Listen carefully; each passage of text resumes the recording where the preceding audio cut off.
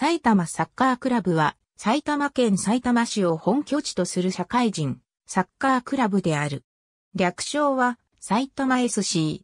2020年の時点では関東サッカーリーグ2部に所属。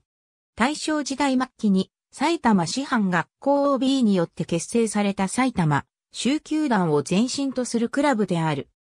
同クラブは1941年の太平洋戦争の勃発により活動を停止したが、戦後の1953年に国民体育大会教員の部が創設されたことに伴い、関東予選に出場するために浦和サッカークラブに所属していた教員を中心に再編成された。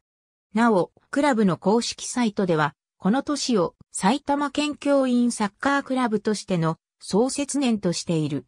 過去に国体優勝や日本サッカーリーグ2部に所属した経験を持つ。教員クラブという性格上、過去には松本明氏ら埼玉県内の著名なサッカー指導者たちが多数在籍していた。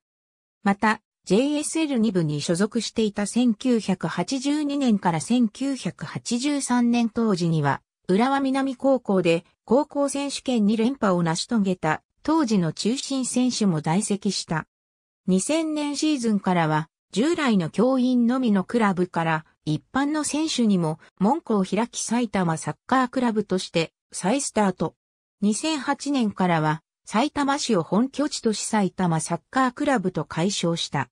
2011年より埼玉市北部3部リーグから埼玉 SC セカンドを設立。2013年 J3 リーグの発足に伴い日本フットボールリーグ所属18チームの半数以上に当たる10チームが参加意思を表明していることに対し JFL が各地域リーグ一部に所属するチームに JFL への加盟を流していたことを受けて埼玉 SC は JFL への加盟申請を行った。同年12月4日、来期の JFL 加盟の見送りが発表された。ありがとうございます。